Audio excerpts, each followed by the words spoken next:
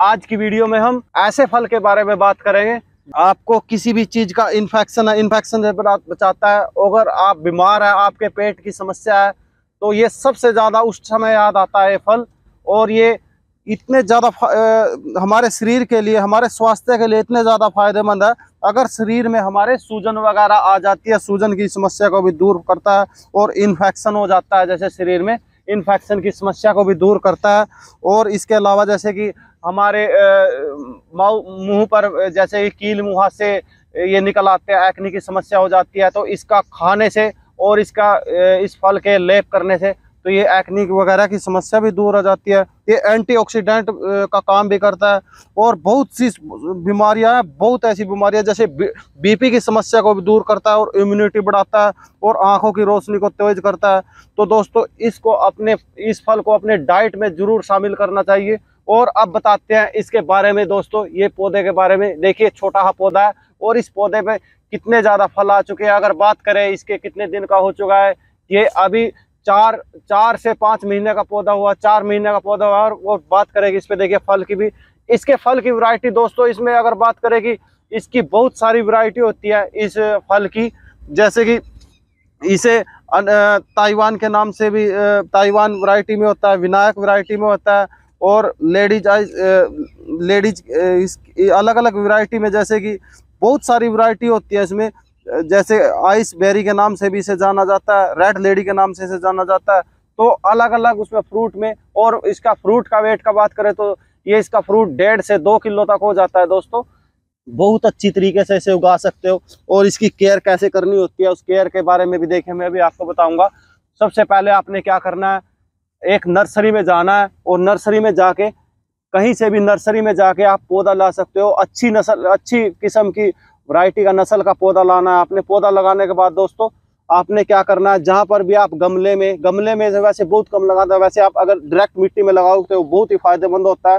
तो डायरेक्ट जैसे कि हमने यहाँ पर डायरेक्ट मिट्टी में लगाया था। तो यहाँ पर सबसे बड़ा दोस्तों रोल होता है कि आपने जिस मिट्टी में लगाया है तो वो जो ग्रो मीडिया है, हमारा कैसा ग्रो मीडिया है, देखिए, जैसे कि आपको दिखाई दे रहा है, यहाँ पर हमने ये मिट्टी लिया है जिसमें फिफ्टी परसेंट हमारा कोकोपिट होता है, और इसमें हमने ये जो खाद होती है, इसके नीम खली होती है, और इसमें गार्डनिंग सॉयल होती है, और वर्मी कंपोस्ट खाद होता है, ये खाद तैयार करके दोस्तों, इससे कि, क्या होता है कि सबसे बहुत फास्ट तरीके से हमारा पौधा तैयार होता है।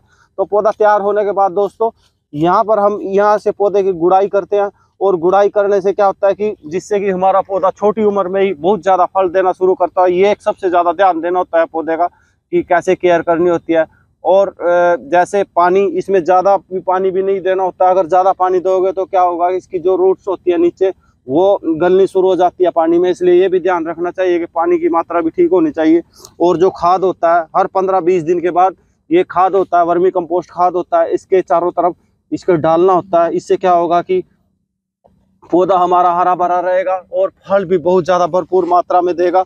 और तीसरा तरीका दोस्तों, देखिए क्या होता है, इसमें अगर आप पंद्रह दिन में, बीस दिन में एक बार, ये हमारे पास क्या है, ये है नीम का तेल, आप ये को ये मार्केट से भी मिल जाएगा और चाहो तो आप अपने घर पर भी बना सकते हो। तो इसके लिए आपने क्या करना है, यहाँ पर नीम का तेल है, देखिए, यहाँ पर थोड़ा पचास ग्राम के करीब नीम का तेल लेना है। और जैसे कि हम अपने पौधे में करते हैं, यहाँ पर जितने भी पौधे आपको दिखाई दे रहे हैं, पपीते के, सभी में दिखाते हैं।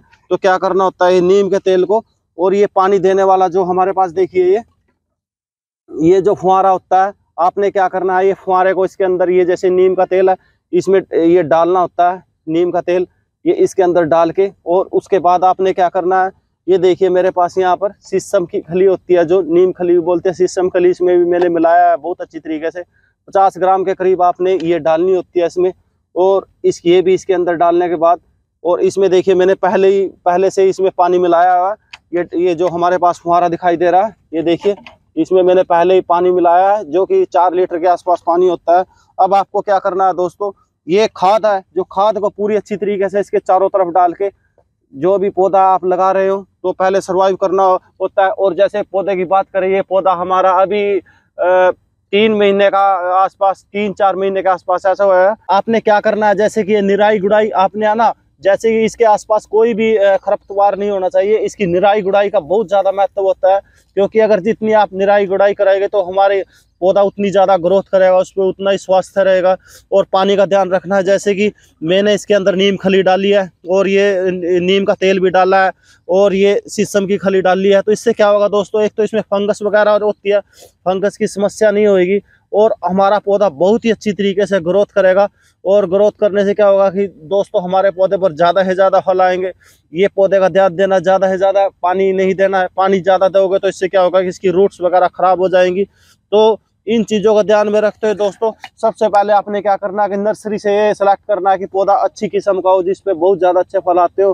तो अगर आपने अपने घर पर ये पौधे लगा लिए, ये पपीते का पौधा लगा लिया तो दोस्तों, ये हमारे शरीर के लिए इतना स्वास्थ्यमंद है। एक तो आप जैसे कि मार्केट से जो जो भी आते हैं, पपीते आते हैं, वो कैसे पकाते हैं, उसको मसाले में पकाते हैं, किसी केमिकल से पकाते हैं तो कई बार किस किस तरीके से पकाते हैं तो दोस्तों, ये एक तो आपको बिल्कुल ही ऑर्गेनिक तरीके से आपको बिना पेस्टिसाइड के, बिना किसी केमिकल के, बिना किसी दवाई के इस तरीके से तैयार हुए मिलेंगे पपीते। तो जैसे ही दोस्तों ये पपीते बड़े होकर ये मोटे हो जाते हैं, जैसे डेढ़ दो किलो का हो जाता है तो ये तो आप अपने घर पर ही नेचुरल तरीके से ये पपीते ऑर्गेनिक तरीके से बिना किसी पेस्टिसाइड के, बिना किसी खाद दवाई के बहुत अच्छे तरीके से दोस्तों अपने घर पर ही तैयार कर सकते हो और जिससे कि आपका स्वास्थ्य भी सही रहेगा और आपको डॉक्टर के पास जाने की भी ज़रूरत नहीं पड़ेगी। और अपने स्वास्थ्य को बहुत ही साफ़ ठीक रख सकते हो। तो दोस्तों, अपने घर पर एक एक, दो जितना भी आपके पास होम गार्डन है, जो जितना भी स्पेस है तो आप अपने घर पपीते का पौधा लगा सकते हो। और इसके फ़ायदे तो आपको मैंने बताए हैं कि बहुत ज़्यादा फ़ायदे हैं। तो पपीते का पौधा अपने घर पर ज़रूर लगाए और अपने शरीर को स्वस्थ रखें।